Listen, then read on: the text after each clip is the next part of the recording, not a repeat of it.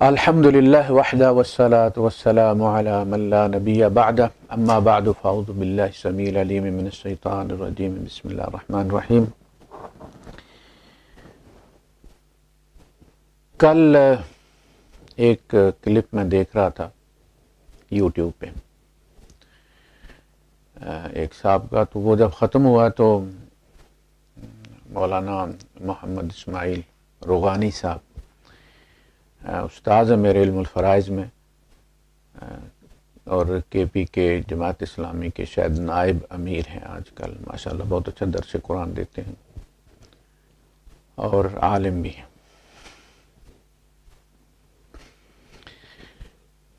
उन्होंने, उनकी हेडिंग जो थी, उनके क्लिप की, उसके ऊपर लिखा हुआ था कि इमाम अहमद इब्ने हम्बल को अल्लाह ने क्या बताया? तो ज़ाहिर ख्वाब ख्वाब में क्या बताया? तो जब उन्होंने वो रवायत शुरू की और उन्होंने कहा कि इमाम अहमद कहते हैं कि मैंने ख्वाब में अल्लाह को देखा तो अल्लाह से पूछा कि अल्लाह? कोई बंदा किस चीज़ से तेरा तकर्रब हासिल कर सकता है। तो पहले तो ये सवाल है कि इमाम अहमद इबन हम्बल रहमतुल्लाह ने कभी कुरान पढ़ा नहीं था। उन्हें नहीं पता था कि पूरा कुरान भरा हुआ इन्हीं हदायत से है। अल्लाह किस से मोहब्बत करता है? वल्ला युहिब्बुल वल्ला युहिब्बुस और अल्लाह ने किस चीज़ का बार बार हुक्म अपने नबी को दिया? अवलीन जो सूरतें नाजिल हुई हैं या अयुहलमुज़मिल कमिल्ला कलीला नसफ़ अबिन कुस मिन हो कलीला अव ज़िद अलैहि व रत्तिलकुरआन तरतीला और व मिनल फ़तहजद बिही ये सारी चीज़ें कुरान में उनको कोई नहीं समझ लगी, उन्होंने यूँ समझा कि ये वो चीज़ है कि जिसको वाजे किए बगैर अल्लाह पाक ने वही ख़त्म कर दी। और नबूत और रिसालत की बसात लपेट दी। लिहाजा अब ख्वाब में इमाम अहमद इबन हम्बल अल्लाह से पूछ रहे हैं कि नबी आए, कितनी किताबें आई, तेरा आखिरी रसूल आ गया। तेरी आखिरी किताब आ गई। लेकिन एक चीज़ प्यासी रह गई, पीछे रह गई। माज अल्लाह सुमा माज अल्लाह या तो आप भूल गए बताना, या नबी आपसे पूछना भूल गए। वो मैं आपसे पूछ रहा हूँ। ये बहुत बड़ी जसारत कि बंदा आपका तकर्रब पूरा कुरान इसी से तो भरा हुआ है। छह हज़ार दो सौ छत्तीस आयात में से चार, साढ़े चार सौ मुख्तलिफ़ अहकाम के बारे में बाकी सारे यही बताने में कि अल्लाह का तकरब कैसे हासिल होता है और बंदा मरने से पहले अल्लाह का तकरब कैसे हासिल ये तकरब तो मरने से पहले ही हासिल होगा ना। तो बड़ी अजीब बात है कि मौलाना इस्माइल साहब ने भी इधर तवज्जो नहीं दी। और असल में होता ही है कि जब बड़ा नाम आ जाता है तो बंदे का सर्कट उड़ जाता है।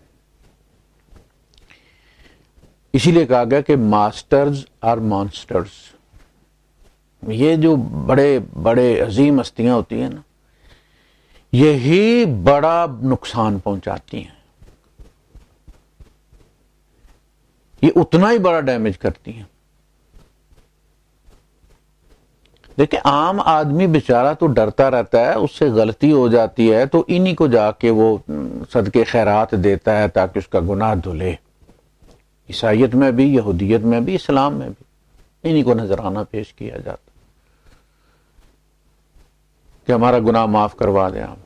वो तो डरते रहते हैं। बेखौफ होकर खुदा के दीन में तब्दीलियाँ उसको मसख, यही मास्टर्स करते हैं। आइम्मा, अपने जमाने के इमाम।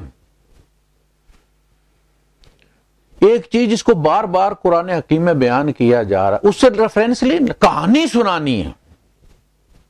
खुदा ने खुदा से ख्वाब में पूछा। अब उनसे बंदा पूछे कि आपने खुदा को ख्वाब में देखा, जरा बताइए कादबुत क्या था? दाढ़ी थी, नहीं थी? नाक पतली थी, कैसी थी? किस इलाके के लगते थे? हर बंदे की फेस फीचर इलाकाई होती है ना। पठान पहचाना जाता है, पंजाबी पता चल जाता है, सिंधी का भी पता चल जाता है, मलबारी का भी पता चल जाता है, अफगानी का पता चल जाता है। फलस्तीनी का पता चल जाता है। पता तो चले खुदा के फेस फीचर्स क्या थे। तुमने खुदा को देखा है। फिर तुमने सवाल किया है। फिर खुदा ने आपको यह नहीं बताया कि कुरान नहीं पढ़ते आप।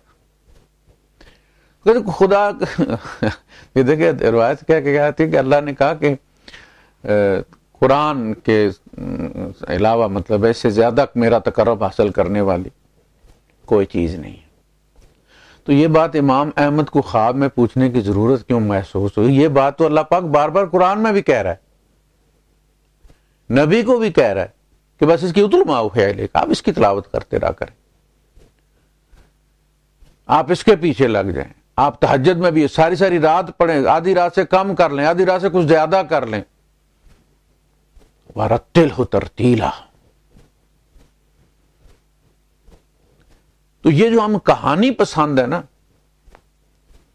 कुरान को रेफरेंस किसी ने बनाया नहीं, हालाँकि कुरान जो है, ये गैर मुतासब किताब है। ये गैर मुतासब हस्ती का कलाम है, उसका खिताब है इंसानियत से। जबकि जो हमारे आइमा हजरात हैं, वो तफसीर के आइमा हूँ, वो फ़िका के आइमा हूँ, वो फ़लसफ़े के आइमा हूँ, वो अपनी इन्वायरमेंट और अपनी शाकिला के पाबंद हैं, उससे निकल नहीं सकते। They are occupied by their environment वो उन ख्याल से नहीं निकल सकते। अल्लाह पाक इंसान का खालिक तमाम इंसानों का खालिक हर नस्ल, हर कौम का खालिक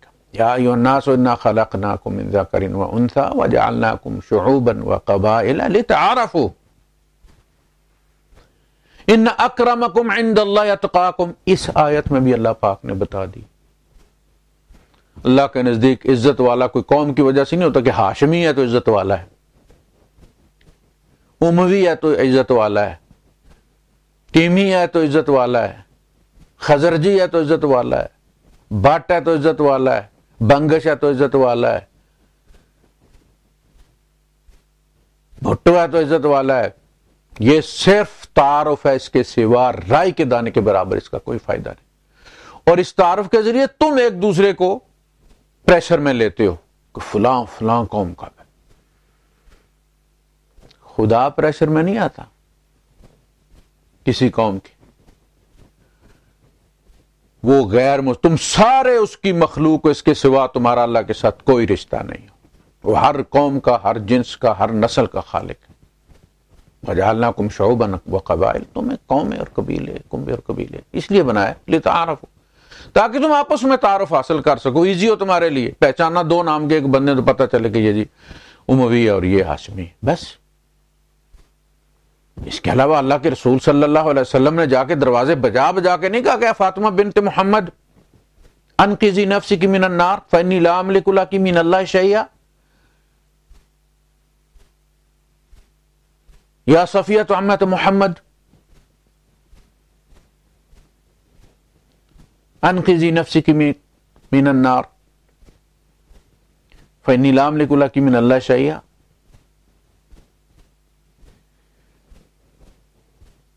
तो उस गैर मुतासिब,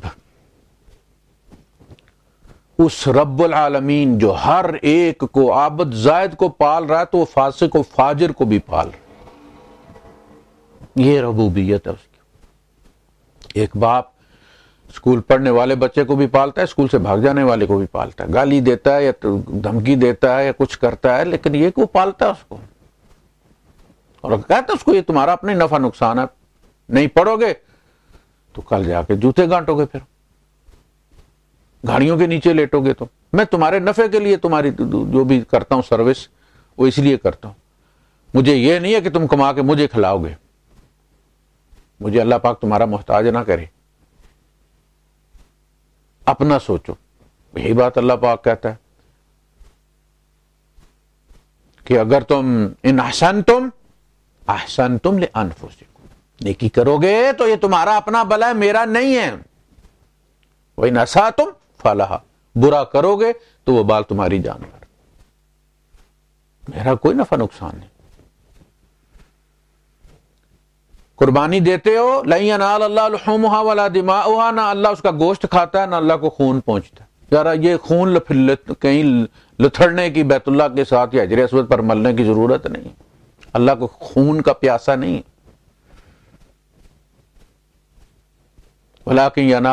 तकवा मिनको तो तुम्हारे दिल की जो कैफियत है, वो पहुँचती। तो अर्ज़ ये मैं कर रहा था कि हम कैफियत से खाली मुसलमान है। नाम हमारा मुस्लिम है। लेकिन वो जो कैफियत वाला मुस्लिम है ना, हम कमियत वाले मुस्लिम हैं। डेढ़ अरबें दुनिया में। दो अरब हो गए होंगे। तो हम कमियत को गिनते हैं। कैफियत हमारा मौजू ही नहीं, हमारी फ़िक्र ही नहीं है उसमें।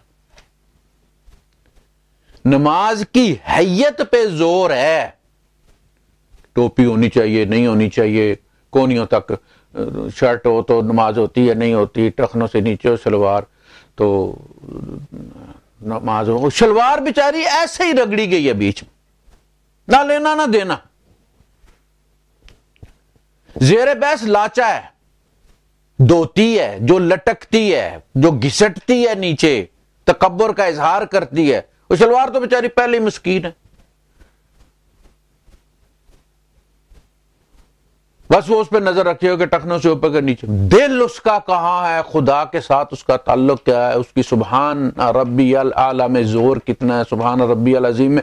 खुदा की अजमत उसके दिल में कितनी समाई है? जब वो ये लफ्ज निकलता है, उसके मुँह से तो रोंगटे खड़े होते हैं कि नहीं होते? उसे मज़ा आता है कि नहीं आता? रब का नाम लेते हुए।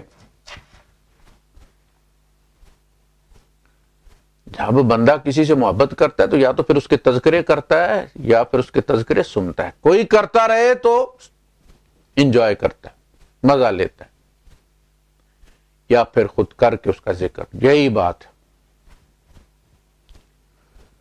फजकुरल्लाह जिक्रन, कसीरन। मोहब्बत है तो फिर उसी के तस्कर तुम जिस तरफ़ नज़र उठाओगे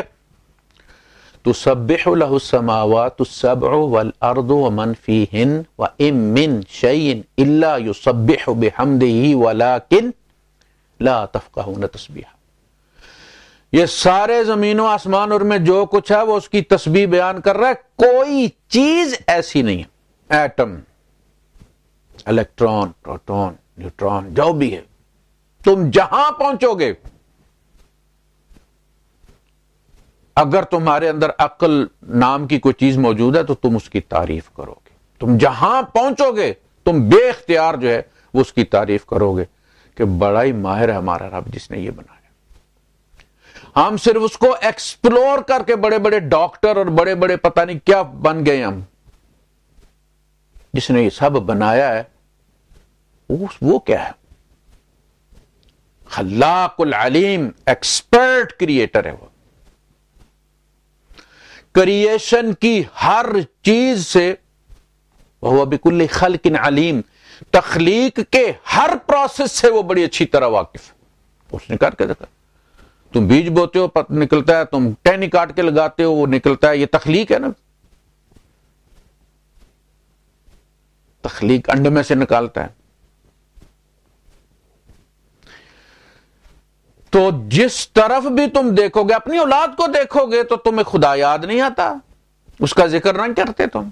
अपने आप को शीशे में देखते हो तो उसका ज़िक्र नहीं करते। ये वो किस्में हैं जो रब के करीब करती हैं। अल्लाह हसन तखलकी फहसन खुलकी। अल्लाह तू ने मेरी सूरत बेहतरीन बनाई है, मेरा अखलाक भी बेहतरीन कर दे। गाड़ी में बैठते हो सुबहान अल्लाह सखर मुकरिन व इन्ना रबिन मुनकलिब उतरते और रब अनजिलनी मुंजल मुबारक खैर मुंजिल मसला ये है कि इस हम तो सिर्फ़ वो समझते हैं ज़िक्र के वो जो तस्बी पे करते हैं, अपनी तस्बियात पूरी की यार नमाज़ के बाद, और फिर खुदा को बोल गए अपनी नमाज़ तक। हालत ये होती है बाज दफ़ा कि सांस जो है ना, सांस भी अल्लाह की रिदम पे, लय पे निकले, हिल जाए वो। अंदर जाए तो अल्लाह और निकले और हु, और उस वक्त ये कैफियत होती है कि इंसान जब हालत जनाबत में होता है तो सांस लेना दुबार हो जाता है। उसको रोकने के लिए उस अल्लाह को जो सांस से निकलती है। उस कैफियत में कहा गया कि मोमिन वो निजस नहीं होता कि जिस पे ज़िक्र भी हराम हो जाए। तुम इस हालत में भी ज़िक्र कर सकते हो। हाँ, जो दम गाफिल सो दम काफिर। इंसान सांसों से ही बना ना फूक उसमें एक भर दी गई है। लिमिट उसकी रख दी गई है उसकी वो जिस दिन खत्म उसने होना है वो तय कर दिया गया तो ज़िंदगी तय होती है ना। अल्लाह जी खाला कल मौत पहले मौत का दिन लिखा है, वल हयात फिर उम्र नापी है। आप निशान ना लगाएँ एंड वाला फिनिश लाइन का तो आप कैसे कह सकते हैं कि वो सौ मीटर की दौड़ थी या दो सौ मीटर की दौड़ थी या हज़ार मीटर की दौड़ थी, वो लगेगा निशान तो पता होगा ना। ज़िंदगी कितनी है। तो जब तय की गई है तो उतनी फूक भरी गई है। उसके बाद फिर वेंटिलेटर भरता है। जब खुदा वाली खत्म होती है तो वेंटिलेटर आप दो चार दिन लटका रखते हैं, किसी को फेफड़े चलाता रहता है, मेहमान चला जाता है, क्लिनिकल डेथ हो जाती है। तो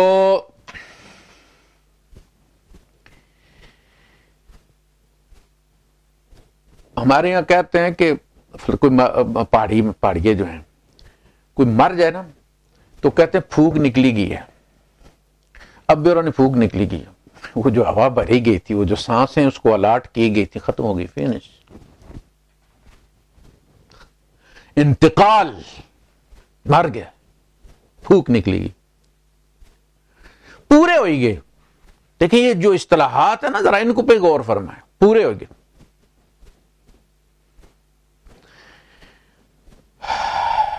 और भी बहुत सारी हैं तो अर्ज़ ये करना कि जो दम गाफिल, ये जो साँसें हैं, जो फूक आप में भरी गई है, इस फूक से कुछ बनाना है, ना फूक निकलती है, बस आपने दिल फेफड़े चलाने जो दम गाफिल, सो दम काफिर। अकीदे का कुफर और अमल का कुफर दो अलग चीज़ें हैं। वो कहते हैं कि सांस भी मोमिन और जो रब की याद के साथ निकली है, वो मोमिन। जो उसको भुला के निकली है, वो काफिर मुनकर है ना उसकी? जो दम गाफिल, सो दम काफिर मुर्शद ए समझाया हूँ। सुनिया सुखन गैया खुल अखी, असा चत खुदा वल लाया हो। कीती जान हवाले रब दे, असा ऐसा इश्क कमाया हो। मरन तू पहला मर गए बहु। मरने के बाद भी तो अपने आप को सुपुर्द कर देता ना, अल्लाह, बेबस हो जाता है बंदा। मुस्लिम नाम किसका है? मुस्लिम नाम है अपना आप, जो कुछ भी रब ने दिया, अपना आप और जो मेरे मलकियत में है, वो मैं रब के कदमों में रखता हूँ, अपनी मर्ज़ी से। मजबूरी से नहीं, अपनी मर्ज़ी से। मुआदा इन अल्लाह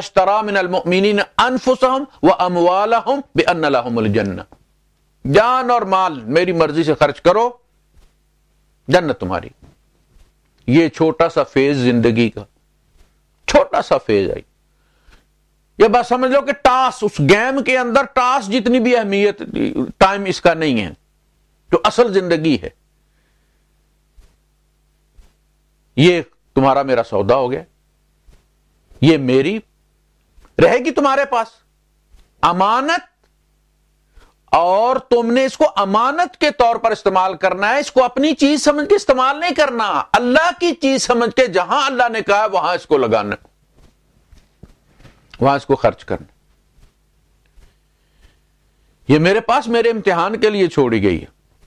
असल चीज़ ये अल्लाह की है। बस इतनी सारी बात। जो भी है तुम्हारे पास, औलाद है, माल है, जो भी। समझो कि अल्लाह की चीज़। मेरे पास इम्तिहान के लिए रखी हुई है।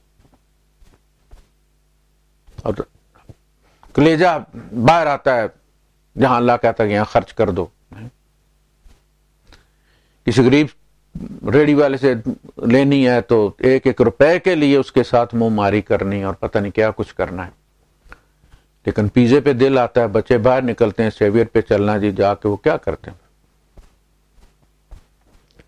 हज़ारों खर्च करके आ जाते हँसते जाते हैं, हँसते वापस आते रेडी वाले को दो रुपए ऊपर चलना चले जाए किसी को।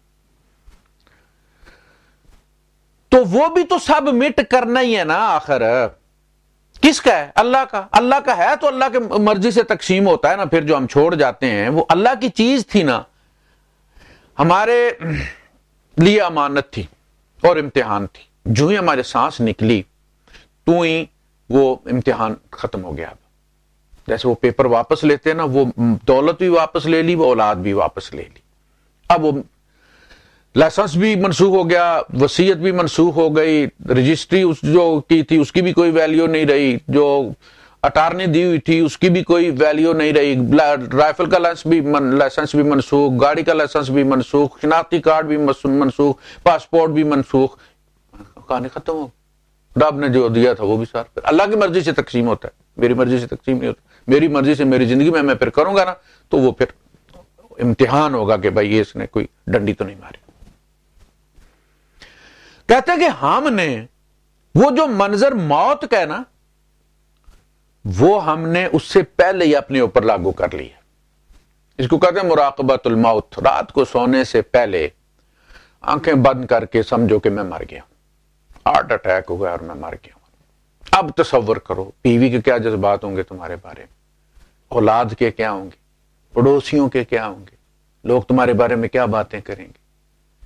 फेसबुक पे क्या स्टेटस लगेगा? गालियाँ देने वाले गालियाँ देंगे। कुछ कहेंगे, खस कम जहाँ पाक, कुछ कहेंगे, बहुत नुकसान हो गए खलापुर नहीं होगा।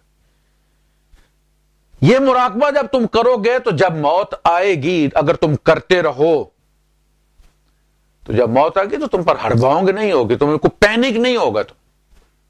अफरा तफरी नहीं मचेगी। इसलिए कि वो तो कैफियत पर इतनी बार गुजर चुकी है कि तुम्हारे लिए अब वो रूटीन की बात हो गई है।